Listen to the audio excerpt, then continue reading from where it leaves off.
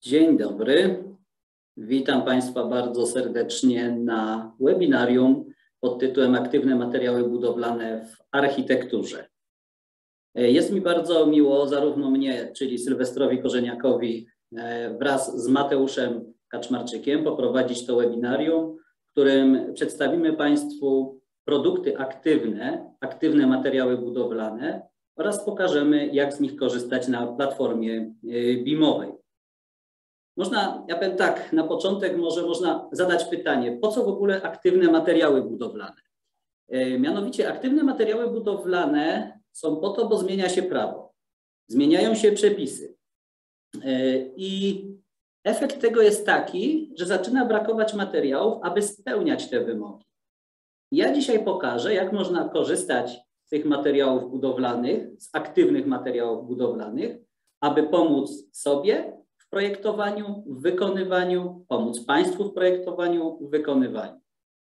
I dlatego właśnie znaleźliśmy się na, platformie BIM, aby szeroko do Państwa dotrzeć, aby pokazać te możliwości, bo platforma ta to jest szans, szansa dla Państwa na korzystanie, e, sprawne korzystanie z nowych modeli, które Państwu dostarczymy, ale także szansa dla nas na dotarcie do Państwa. Szanowni Państwo, może na początek dwa zdania o tym, kim my jesteśmy. A więc firma ML System SA jest to polska firma, która mieści się w Zaczerniu koło Rzeszowa. Obecnie nasza powierzchnia produkcyjna wraz z zapleczem magazynowym to jest ponad 20 tysięcy metrów kwadratowych. To, co Państwo tutaj widzicie, to jest część, e, to jest e, część naszej firmy. Kolejne hale są z boku postawione. I można powiedzieć z jednej strony, że jest to firma produkcyjna. Tej części tutaj, którą teraz pokazuję, mieści się laboratorium, ale tak w ogóle nasza firma to jest jedno wielkie laboratorium, gdzie wszelkie rozwiązania, które Państwo tutaj widzicie, które my wymyślamy, są u nas zastosowane. zastosowane. E, począwszy od najprostszych, gdzie mówimy o modułach ramkowych na dachu, w układzie wschód-zachód czy w układzie południowym, przechodząc przez szyby drukowane, zewnętrzną e, fasadę wentylowaną, żaluzje fotowoltaiczne, karporty, lampy, fasadę wentylowaną fotowoltaiczną. Czyli generalnie wszystkie produkty, które, e, które produkujemy, najpierw montujemy u siebie, a potem dopiero wychodzimy z nimi na rynek. A działamy, Szanowni Państwo, w kilku, w kilku dziedzinach. Mianowicie BIPV i PV, czyli to, o czym będziemy dzisiaj głównie rozmawiać, czyli BIPV, czyli fotowoltaika zintegrowana z budownictwem. Dalej rozwinę tą myśl. Smart City, czyli mała architektura połączona z odnawialnymi źródłami, y, odnawialnymi źródłami energii, połączona y, z, z nowymi mediami, z nowoczesnością, z innowacyjnymi rozwiązaniami. Jesteśmy także producentem szkła szeroko rozumianego, zestawów y, szybowych, obróbce bardzo specjalistycznej, takiej jak nadruki wielkoformatowe, jak grawery podpowierzchniowe, powłokowe, jak e, utwardzane chemicznie szkło, czyli hartowane, można powiedzieć w cudzysłowie, szkło o grubości poniżej 3 mm. E, I generalnie specjalizujemy się w wykonywaniu trudnych e, zestawów szybowych, trudnych elementów ze szkła, ale także standardowego szkła. No i oczywiście nie bylibyśmy tutaj, gdzie jesteśmy, gdyby nie nasze Centrum Badawczo-Rozwojowe, w którym tworzone są nowe rozwiązania, nowe technologie, o których dzisiaj parę słów powiem. Może na początek taki slajd, który pokazuje, że niekoniecznie mówiąc o rozwiązaniach fotowoltaicznych, trzeba myśleć o tym, że ma, mają to być elementy na dachu. Proszę zwrócić uwagę, to jest fragment naszej siedziby. Ta elewacja, którą Państwo tutaj widzicie, to jest fotowoltaiczna fasada wentylowana. Tutaj widzicie Państwo żaluzje fotowoltaiczne. Czyli można powiedzieć, że te moduły, czyli schematycznie tutaj pokazane, poprzez różnego rodzaju produkują prąd, gdzie przez zabezpieczenia stałoprądowe dochodzi to do falownika, zmieniany jest to w prąd zmienny i przez odpowiednie zabezpieczenia zmiennoprądowe trafia to do sieci. I taka jest nasza idea to są materiały budowlane aktywne. Aktywne, bo nie tylko chronią przed czynnikami atmosferycznymi, ale także produkują prąd, czyli działają aktywnie. Elewacje, do tej pory bezużyteczne w tym aspekcie, stają się elektrowniami produkującymi prąd. Dachy stają się produ e, e, elektrowniami produkującymi prąd. My nie chcemy dokładać dodatkowych elementów, ale chcemy pokazać, że można zmienić tradycyjny materiał budowlany na właśnie aktywny materiał budowlany. Oczywiście to, co wszyscy Państwo kojarzycie, to są rozwiązania standardowe oparte o moduły ramkowe na dachach, na gruncie i tak dalej. Też oczywiście tego typu rozwiązania dostarczamy, ale nie o tym dzisiaj będziemy mówić. Dzisiaj będziemy, Szanowni Państwo, mówić o rozwiązaniach architektonicznych, o żaluzjach fotowoltaicznych, o fotowoltaicznych fasadach słupowo-ryglowych, o fotowoltaicznej fasadzie wentylowanej, świetlikach, zadaszeniach fotowoltaicznych, czy też o naszym najnowszym produkcie Uglas, czyli zupełnie przezroczystych szybach produkujących prąd. I na początek fotowoltaiczne fasady słupowo-ryglowe. Wszyscy wiemy, wszędzie na obiektach, na budynkach mamy szkło, mnóstwo szkła. Jest super, bardzo ładnie budynek wygląda, tylko mamy problemy z tym, że budynki się przegrzewają, że jest za dużo słońca do niego dociera. I właśnie proponując zamiennie za tradycyjne szkło, proponując y, wypełnienie w postaci modułów BIPV termoizolowanych, jeżeli potrzeba, to o parametrach akustycznych, o wysokim LT, o niskim G, to właśnie możemy stosować nasze moduły fotowoltaiczne. I proszę zobaczyć tutaj akurat na Wojewódzkim Funduszu Ochrony Środowiska w Łodzi przykład w pasach międzykondygnacyjnych są stosowane nieprzezierne moduły fotowoltaiczne. Tutaj na biurowcu Kampaka w Orzeszu są stosowane moduły częściowo przezierne. Proszę zwrócić uwagę, że te ogniwa, czyli te małe kwadraciki ułożone właśnie w modułach, wcale nie muszą, tak jak na WFOŚ w Łodzi, być zupełnie nieprzezierne obok siebie, bardzo blisko siebie. One mogą być w pewnej odległości. Jak je ułożyć, to już Państwa, że tak powiem, wizja. My się do tego dostosujemy. Bo my nie mamy tutaj ograniczeń, które mówią, że tak czy inaczej trzeba to zrobić. My dostosowujemy się do Państwa potrzeb. I tak jak na przykład też Uniwersytet Przyrodniczy we Wrocławiu, gdzie to, co Państwo tutaj widzicie, to są też moduły fotowoltaiczne wpięte w fasadę słupowo-ryglową.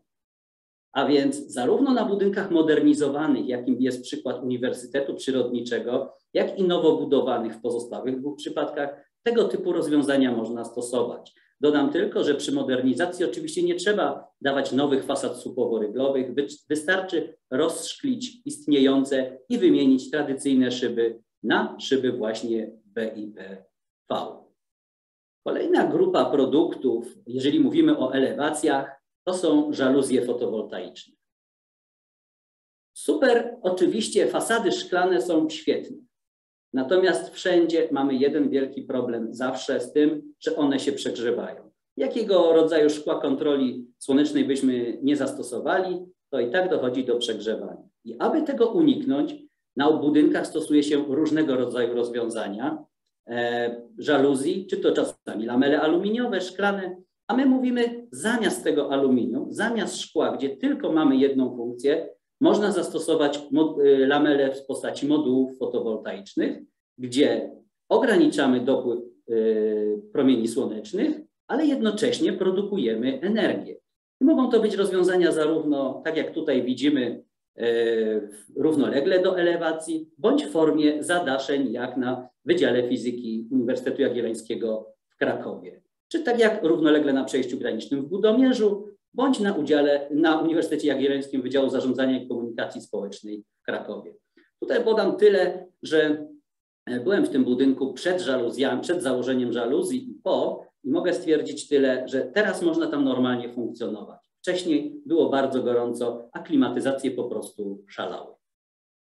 E, mówiliśmy o przeziernych elementach na elewacjach lub częściowo przeziernych. Ale oczywiście bardzo popularne na rynku są różnego rozwiązania, różnego rodzaju fasady wentylowane. Często są to fasady z kamienia, e, z płyt kompozytowych i my znowu mówimy, zamiast stosowania tamtych materiałów możemy dać moduły fotowoltaiczne, które spełnią te same warunki, co, których oczekiwaliśmy od tradycyjnych materiałów, ale dodatkowo wyprodukują prąd.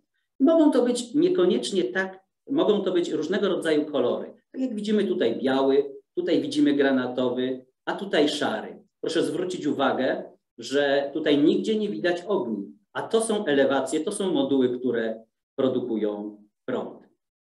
Bardzo fajnie na budynku jest mieć świetlik. Super sprawa, doświetlenie pomieszczenia. Tylko znowu mamy problem z przegrzewaniem, z tym, że klimatyzacja musi pracować. I zamiast stosowania tradycyjnych szyb, tradycyjnych wypełnień, proponujemy właśnie rozwiązania e, z modułami fotowoltaicznymi. To jest też szyba zespolona, też o dobrych parametrach termicznych, a nawet lepszych niż tradycyjne. I też, jeżeli potrzebna będzie akustyka, przezierność dostosowana do Państwa e, potrzeb. Oczywiście może to być dodatkowo wyposażone w specjalny element świetlny, tak jak na dworcu lokalnym w Rzeszowie, gdzie ten moduł fotowoltaiczny produkuje prąd, świeci i co więcej jeszcze sam się odśnieża, jeżeli napada na niego śnieg. A więc likwidujemy kolejną rzecz, czyli potrzebę usuwania śniegu. Obniżamy kolejny raz koszty eksploatacji. I idąc dalej, mówiąc o budynkach, no to co nam zostało? Zostało nam na, nasze najnowsze dziecko tak naprawdę, czyli całkowicie przezierna szyba produkująca prąd. E, szanowni Państwo, tutaj to jest tak naprawdę skok rewolucyjny, rewolucja w ogóle na rynku, ja bym powiedział, szklarskim. Jak Państwo dobrze sobie zdajecie wszyscy sprawę, e, dwa parametry dla szyby, które są niezwykle istotne, to jest LT, czyli przepuszczalność światła i G, czyli przepuszczalność energii. Dzisiaj tradycyjne szyby występujące na rynku mają ten stosunek mniej więcej 1 do 2.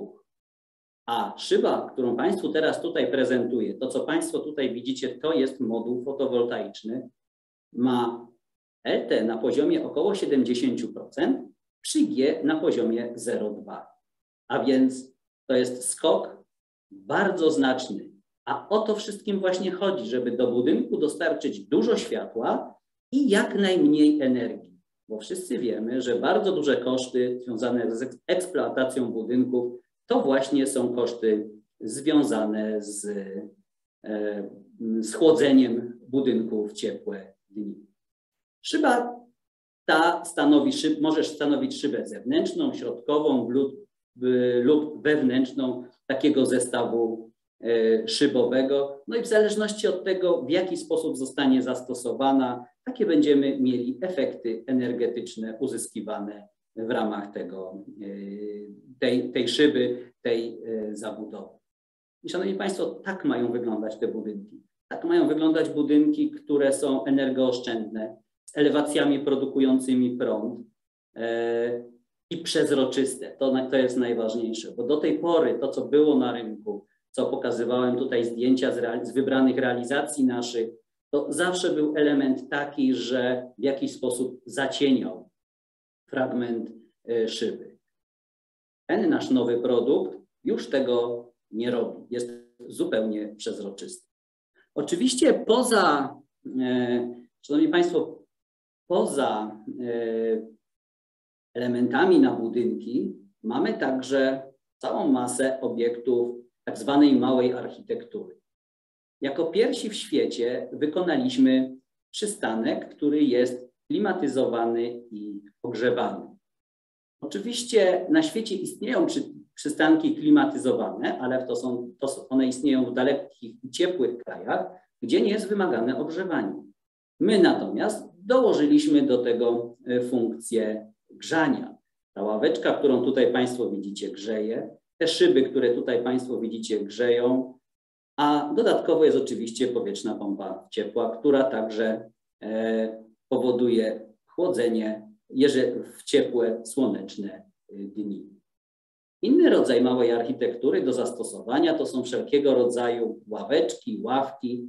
Taki obiekt wykonaliśmy między innymi e, w Krakowie, w Parku Dębnickim, gdzie te szyby są szybami fotowoltaicznymi. I może nie byłoby to nic dziwnego, tylko proszę zwrócić uwagę, że te szyby są w kształcie łuku. A więc nie ma dla nas ograniczeń, które mówią o tym, że coś ma być prostokątne, coś ma być kwadratowe, coś ma mieć jeden wymiar. Zarówno w małej architekturze, jak i na obiektach, na budynkach, Państwo potrzebujecie e, dopasowania do Waszych potrzeb e, wielkości wypełnień. I my właśnie taką szansę, taką możliwość e, dajemy. Jeżeli byśmy poszli dalej w tą małą architekturę, to możemy także mówić o zadaszeniach parkingów. Te zadaszenia parkingów mogą być fotowoltaiczne, jak tutaj widzimy, mogą świecić, jak tutaj widzimy. Proszę zwrócić uwagę, te linie, które Państwo tutaj w taki chaotyczny sposób ułożony widzicie, to jest efekt, to są elementy świecące. W dowolny sposób, jeżeli Państwo sobie wymyślicie, jak ma taki element świecić, my, jak ma taki element świecić, my go tak ukształtujemy, żebyście Państwo ten efekt architektoniczny uzyskali. Oczywiście może to być także moduł samoodśnieżający, jak pokazywałem na przykładzie dworca lokalnego w Rzeszowie. I to są takie powiedziałbym małe, delikatne, bardzo estetyczne rozwiązania, ale mamy także rozwiązania dla całych dużych parkingów, gdzie czy to w formie lameli fotowoltaicznych, czy pełnych wypełnień możemy wykonywać zadaszenia y, fotowoltaiczne produkujące prąd. I znowu jest ten aspekt, że nie zabieramy powierzchni nowej, nie wykorzystujemy tylko to, co jest dostępne, a przy okazji samochód nie będzie się nagrzewał. Oczywiście wchodzimy, y, przebadaliśmy i uzyskaliśmy poprawę o kilka decybel akustyki, tworząc ekran akustyczny na bazie oczywiście istniejących ekranów, ale w odpowiedni sposób mocując, przy zastosowaniu odpowiednich elementów mocujących, odpowiednich kątów pochylenia, y, zamontowaliśmy żaluzję i uzyskaliśmy poprawę E, poprawę dźwiękoszczelności takowego ekranu. E, przestrzenie ogromne do wykorzystania i też takowym produktem służymy. Oczywiście, jeżeli ktoś chce się bawić bardziej w artystyczne rozwiązania, to przykładem może być takie drzewo fotowoltaiczne w stalowej woli, które także wykonaliśmy. Z małej architektury posiadamy także różnego rodzaju lampy fotowoltaiczne, które y, mają bądź taką prostą budowę, bądź inne bardziej może e, przemawiające do gustu, ale generalnie chodzi o to, że takowe produkty też posiadamy. Szanowni Państwo, ten cały, e, cały produkt pod tytułem fotowoltaiki, e, całe materia te materiały budowlane wraz z całą obsługą, architekturą, no konieczne jest, żeby to połączyć w jakiś system zarządzania. Klient musi widzieć, co się dzieje. Klient musi widzieć, gdy są awarie. A jeżeli da nam obsługę jeszcze tego, to my czasami wcześniej widzimy jakąś usterkę niż klient, którą możemy zdalnie obsłużyć. I do tego właśnie służy nasz system zarządzania energią.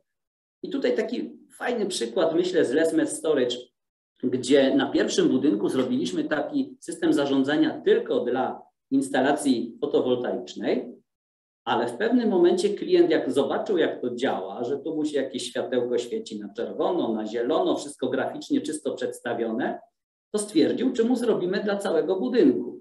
No i tak też się stało. Tu jest przykład ekranu z systemem wentylacji, do tego doszły e, system pompy ciepła, utrzymywanie warunków klimatycznych, a więc to wszystko spinamy w jeden system, który którym klient ma przejrzystość y, funkcjonowania różnych instalacji, a co więcej, sterowania nimi tak, aby kolejne zyski generować. No i powoli kończąc, Szanowni Państwo, pytanie jest, tą pierwszą część przynajmniej, e, pytanie jest, jak my działamy.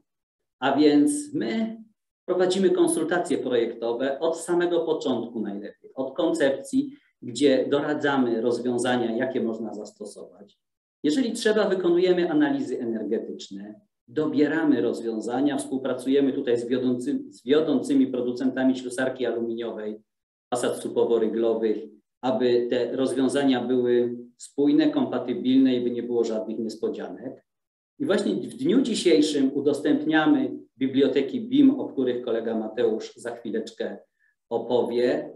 a generalnie celem oczywiście naszym jest kompleksowa realizacja tego typu inwestycji. Oczywiście e, to, co pokazałem BIPV, to nie jest nasza jedyna działalność.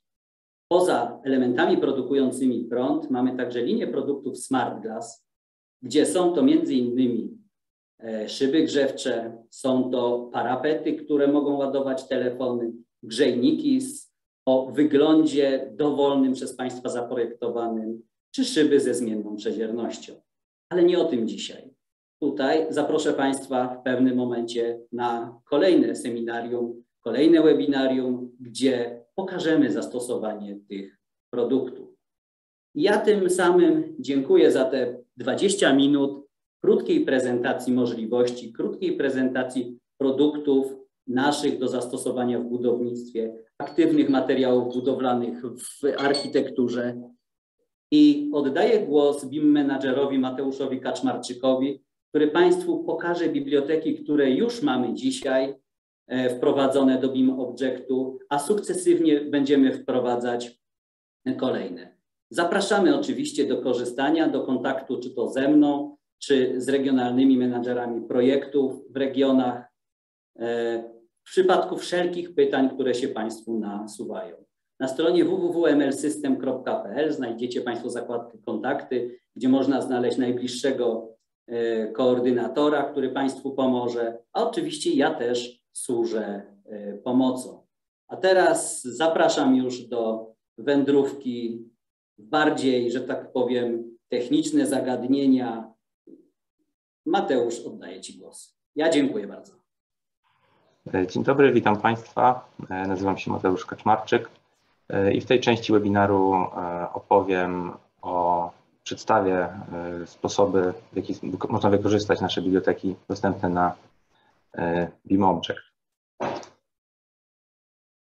Udostępnię teraz ekran. E, zacznę od tego, e, gdzie można w ogóle pobrać nasze, nasze biblioteki. Także na stronie ImObjectu należy wyszukać naszą firmę, ML System.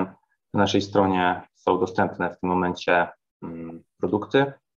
Klikając pobierz można wybrać w jakim formacie mm, chcemy pobrać pliki. Alternatywnie na stronie mlsystem.pl w zakładce architekci, biblioteka BIM, mm, dokładnie te same produkty można tutaj znaleźć.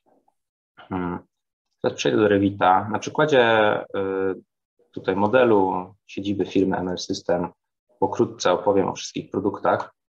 Mm, przede wszystkim, jeżeli chodzi o produkty BIPV, y, Chcieliśmy je udostępnić, aby umożliwić osobom z zewnątrz, architektom, e, kształtowanie mm, tych elementów mm, przy zachowaniu pewnych ograniczeń wynikających e, między innymi ze statyki lub technologii produkcji naszych modułów.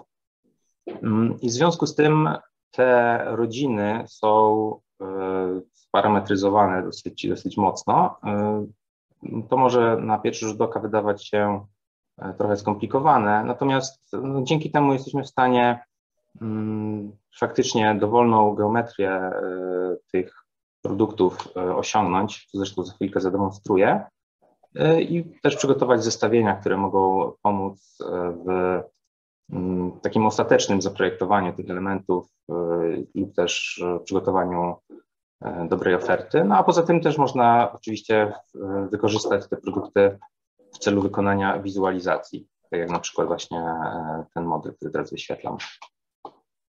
Tak więc e, na przykładzie żaluzji na sam początek, mm, tutaj edytując typ można zobaczyć wszystkie parametry, które użytkownik może edytować w celu zmiany geometrii.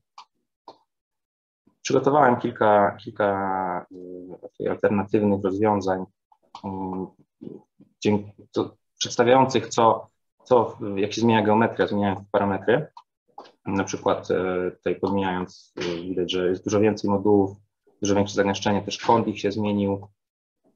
W ten sposób w zasadzie dowolny, dowolną jakąś sytuację projektową, którą sobie architekt wymyśli, jest w stanie odtworzyć i, i, i przygotować taką wizualizację, a rodzina automatycznie uzupełni, dobierze ilość modułów, ilość, ilość ogniw i również mm, na podstawie tego modelu później jesteśmy w stanie przygotować zestawienie, które mm, przedstawi, e, jakie są wielkości tych modułów, jaka jest moc zainstalowanych w nich ile szkła na przykład jest potrzebnego do wyprodukowania tego typu e, modułu.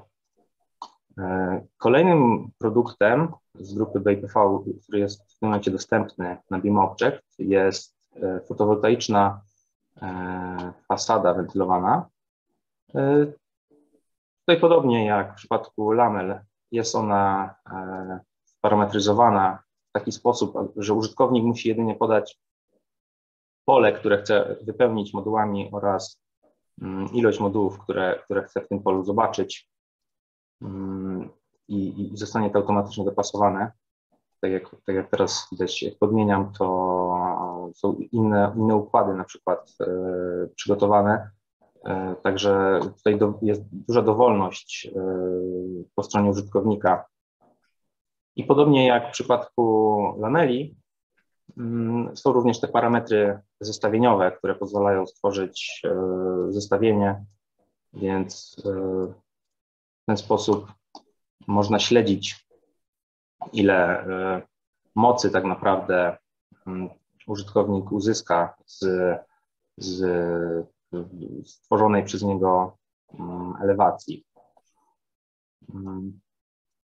Mm. Jeżeli chodzi o grupy, o produkty z grupy BPV, e, w tym momencie mm, tylko te, te, dwa, tylko te dwie rodziny mamy dostępne. Natomiast mamy jeszcze produkty z na przykład ze Smart City. E, tutaj widzą Państwo są karporty. Tutaj sytuacja wygląda nieco inaczej, to znaczy nie ma już tych parametrów, e, które, którymi musi użytkownik kształtować tę geometrię, natomiast może w zasadzie musi jedynie zadeklarować, ile miejsc parkingowych potrzebuje i już standardowe nasze rozwiązania zostaną mm, automatycznie mm, wygenerowane. Mm. Mamy jednak, przepraszam, wersję również custom. Jeżeli te standardowe parametry czasami tak bywa, że, że no niestety nie spełniają oczekiwań klienta, to, to tam wtedy również, podobnie jak przy, przy tych e, e, żaluzjach lub e, przy fasadzie, użytkownik będzie w stanie je mm, wygenerować. Tutaj na dachu nad częścią produkcyjną widzą Państwo standardowe moduły ramkowe. Też, też je mamy dostępne. W tym modelu są one na takich e, konstrukcjach sporczych, wekierkowych. Tutaj ta wersja też się niedługo pojawi na, na Beam Objectie. E, poza tym też rzeczy, które, które w najbliższym czasie planujemy, planujemy udostępnić, a jeszcze, jeszcze są w fazie mm, przygotowania. Przepraszam, niestety mm, wyłączyłem, nie? Teraz powrócę. Widmo tutaj Państwo widzą, to jest chmura punktów, zaraz mm, powiem.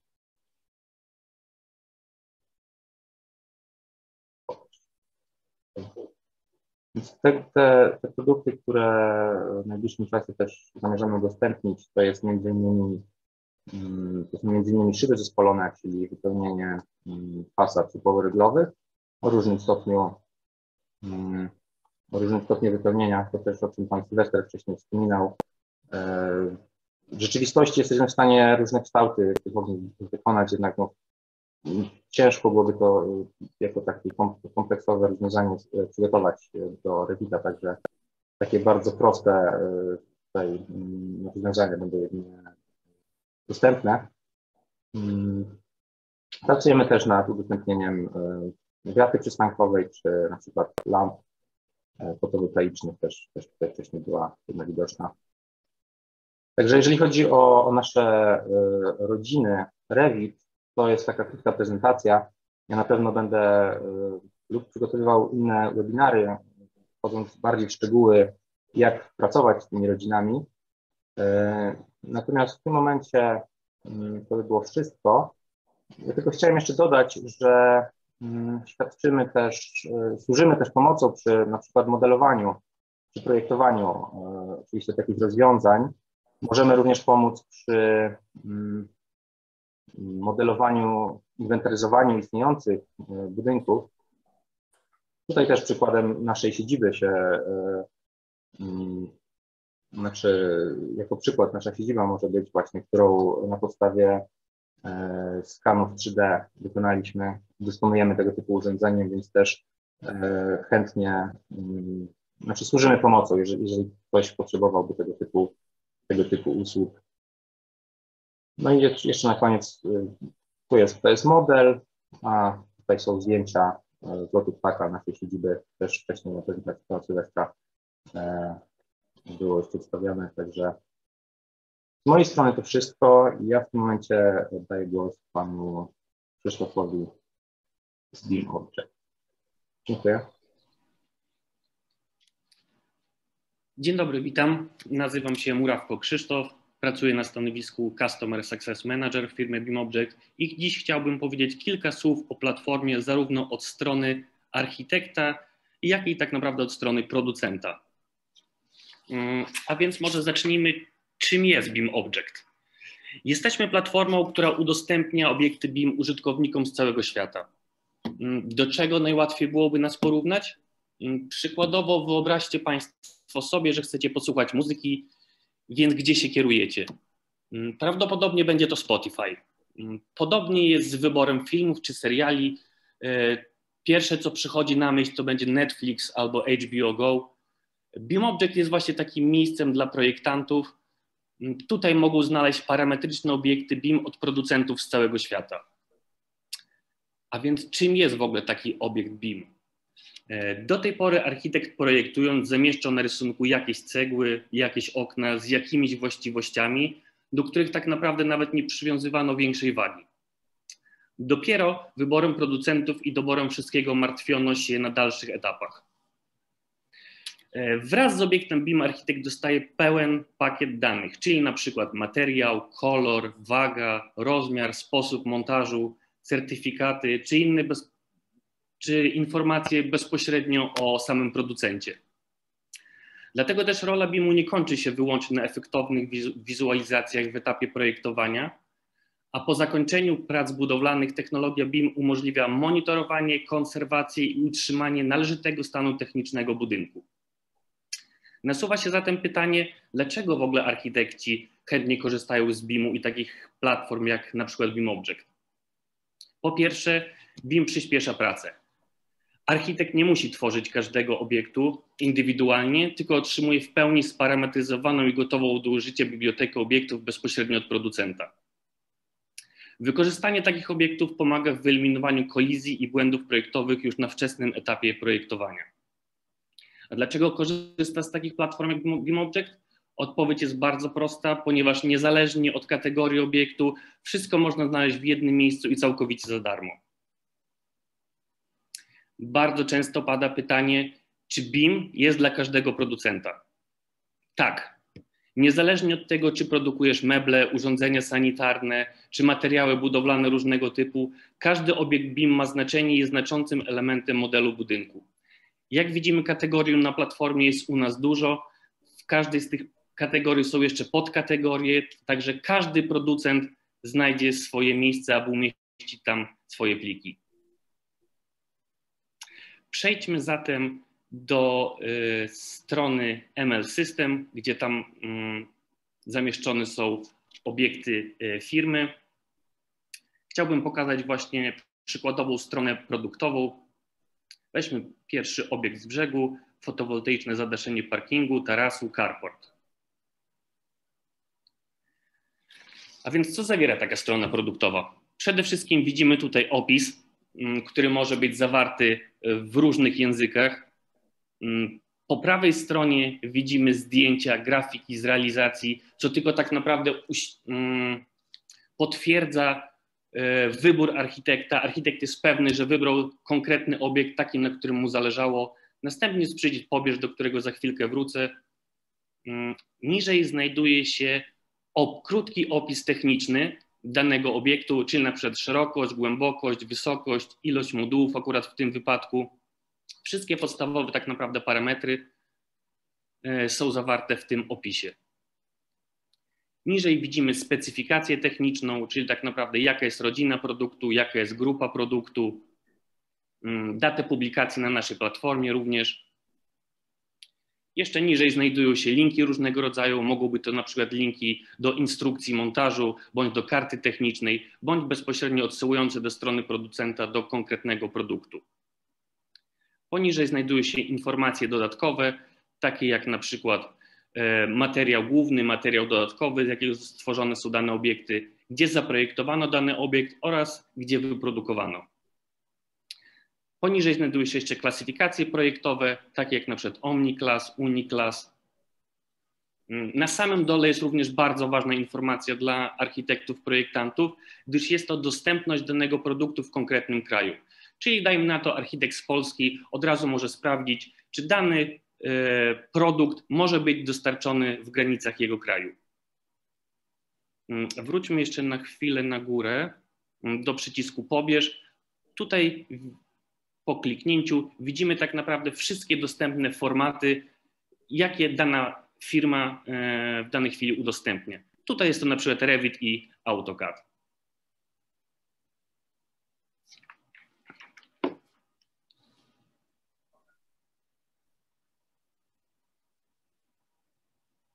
Jeśli architekt napotka jakikolwiek problem bądź będzie miał pytanie, może bezpośrednio je skierować do producenta Tutaj akurat do pana Sylwestra, który na samym początku e, prowadził również wykład. On na pewno odpowie na każde pytanie.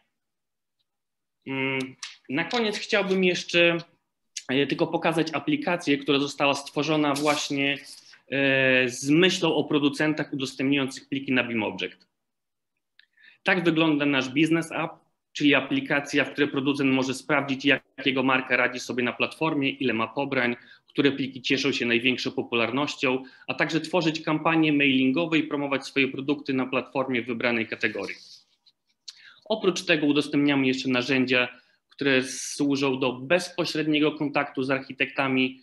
E, tak jak wcześniej wspomniałem, tworzenie kampanii marketingowych e, do, skierowanej do architektów, którzy są typowo zainteresowani danym produktem, bo wiemy, że go pobrali. Także tak naprawdę w dużym skrócie a propos BIM-u i naszej platformy BIM Object to by było tak naprawdę na tyle. Chętnie odpowiem na wszystkie pytania. Mm, dziękuję bardzo za krótką i szybką prezentację.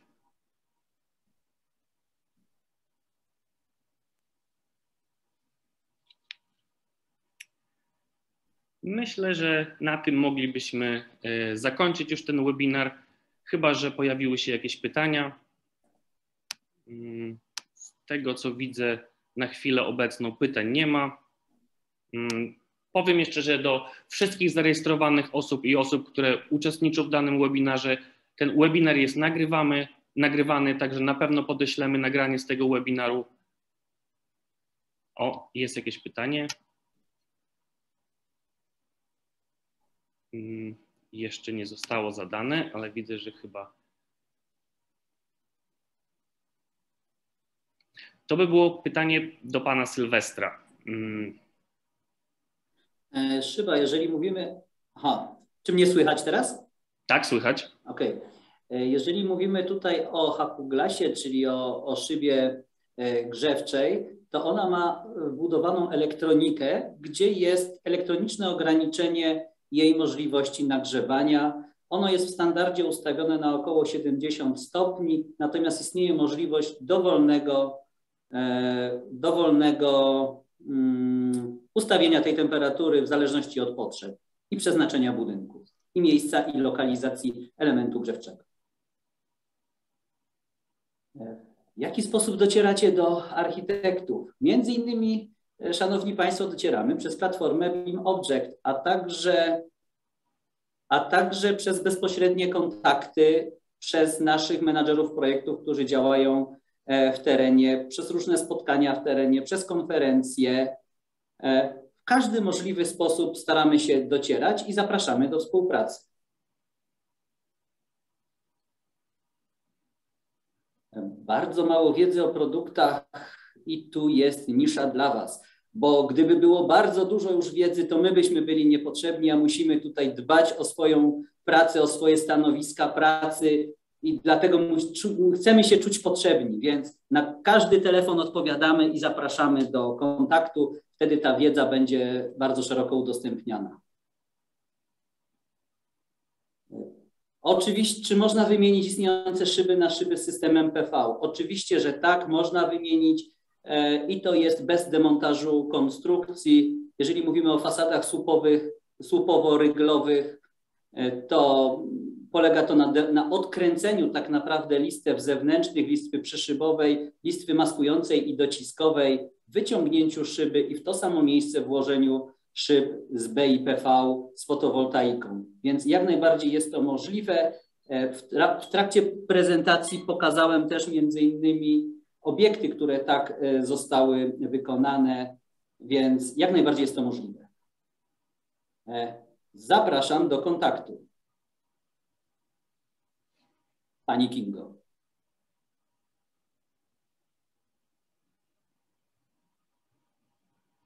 E, jesteśmy otwarci na współpracę z każdym, kto wierzy w ideę zielonej energii, kto chce sprawiać, aby świat był zielony i kto widzi możliwość współpracy z nami.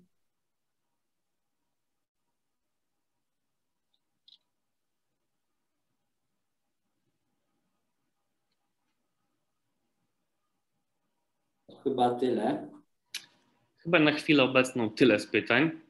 Znaczy ja tylko powiem tyle, że oczywiście zapraszam do kontaktu. E, w, na ostatniej stronie prezentacji tam są namiary, komplet namiarów na mnie. Zapraszam także na stronie ML System w zakładce kontakty są namiary na osoby działające w terenie, bliżej Państwa. E, w zakładce fotowoltaika BIPV. Tam jesteśmy, służymy pomocą i będzie nam bardzo miło się z Państwem spotkać. A ja ze swojej strony chciałbym zaprosić tak naprawdę wszystkich producentów materiałów budowlanych do kontaktu, jeżeli mają ochotę mm, i chęci zaistnieć na naszej platformie, również się pokazać e, architektom z całego świata. Serdecznie zapraszam do kontaktu.